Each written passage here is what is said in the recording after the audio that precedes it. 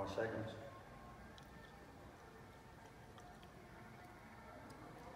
We thought Lou shake hands with his want lads and both men face the hole for a Okay. sec.